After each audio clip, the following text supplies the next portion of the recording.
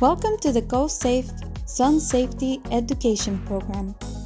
Today, we will learn what is sun damage, where does it come from, and what can we do to prevent it. First, let's see what causes sun damage. Is it the sun? Watching too much TV? Pizza pops? UV radiation? Tanning beds? Cell phones? Or the microwave? There are three correct answers. Do you know them already? The correct answers are the sun, UV radiation, and tanning beds. Regardless of your skin color, it is important to always practice sun safety and to protect your skin from sun damage. This means that if you have skin, and I hope that you do, you must protect it. So, who is at risk? People with lighter skin tones and lighter features are more sensitive to the UV rays, and people with darker skin tones and darker features are less sensitive to UV rays because they have more melanin production. But what is melanin?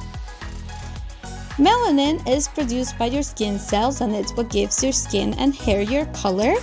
It turns dark and gives you a tan when it's trying to protect you from the UV rays from the sun.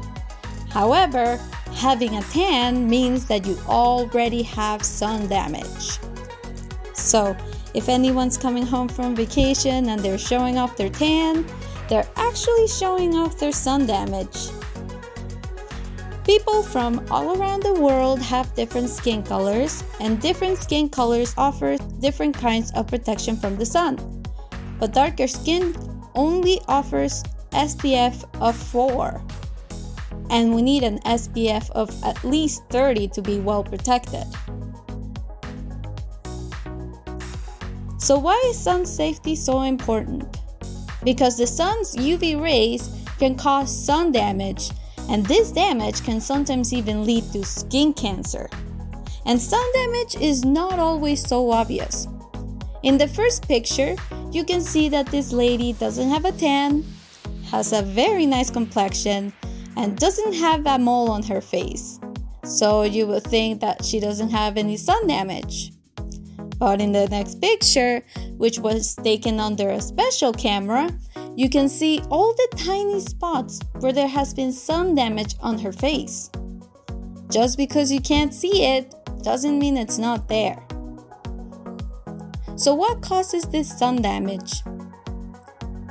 Sun rays can be dangerous in large amounts and is made up of UVA and UVB rays. When these rays reach our skin, they can cause damage if we're not protected. UVA rays penetrate the deeper layers of skin. They cause sunspots and wrinkles, and they can even go through windows. UVB rays affect the outer layer of skin, and these ones are the ones that cause those nasty sunburns. Now we know what causes sun damage, but how does sun damage look like? A lot of us know what sunburns look like. It makes our skin red, our skin might start peeling off, and sometimes, when it's especially bad, it might even cause blisters. How can we prevent this? We can use sunscreen. Sunscreen can protect our skin from UV rays. It acts like an invisible bulletproof vest, stopping the UV rays before they can reach the skin and cause sun damage.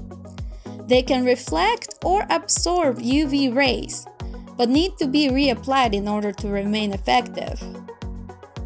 Here's a tip use sunscreen with an SPF or sunburn protection factor of at least 30 and reapply every two hours to prevent sun damage. Forgot your sunscreen at home? No sunscreen, no problem. there's lots of things you can do to protect yourself from the sun. You can avoid sun exposure between 10 in the morning and 4 in the afternoon when the sun's rays are the strongest. You can protect yourself with long sleeves, pants, sunglasses, and a wide brim hat. You can also find some shade. You can always take a break from the sun by finding a shaded area that you can go to. Tans and tanning beds. Let's talk about tanning for a second. Did you know that tans are not healthy? In fact, they are a sign of sun damage. So, do you think tanning beds are a good idea? Definitely not. Tanning beds have both UVA and UVB rays, both of which damage our skin. And if you use a tanning bed, you can even increase your chances of getting skin cancer. Yikes! So now that we went through all the facts, let's play a game. I will show you a scrambled word and give you a hint. Don't worry, I will give you the answer too. If you are out in the sun and this is shorter than you, you should be wearing sunscreen. And the answer is shadow. This is because your shadow gets shorter the higher up the sun is in the sky. You need to protect your eyes from the sun too. And the answer is sunglasses. And when it comes to sunglasses, the bigger the better. Now let's try true or false. True or false? Dogs can sunburn. What do you think? And this one is actually true. But we don't put sunscreen on our dogs as they can lick it all up. Instead, we can make sure they have a shaded spot outside they can use, plenty of water to drink, and we can even keep them inside during the peak hours between 10 a.m. and 4 p.m. And if your dog will let you, they can even wear sunglasses and a hat. True or false? The type of fabric and color of your clothes can make a difference in sun protection. What do you think? So, this one here is also true. White and other light colors can reflect the sun rays away from your skin. And thicker fabrics, such as jeans, will also give you lots of protection True or false? Having a tan is a good way to prevent the sunburn. What do you think? So, this one is definitely false. A tan is a sign of sun damage. This damage can make your skin wrinkle and age much faster than it's supposed to.